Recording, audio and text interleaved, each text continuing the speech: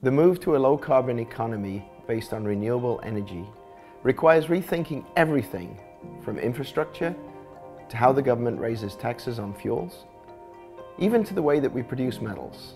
At the core of the transition is the use of metals, which are required to produce everything from electric vehicles to charging stations in apartment complexes. Meeting the demand for these critical metals requires the production of new metals, together with an increase in recycling.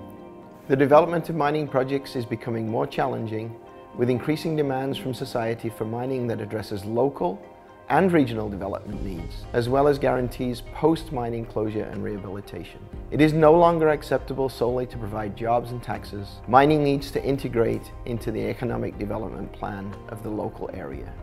EnviroGold produces metals without mining by deploying scalable, modular equipment to recover critical, strategic and precious metals from mine tailings.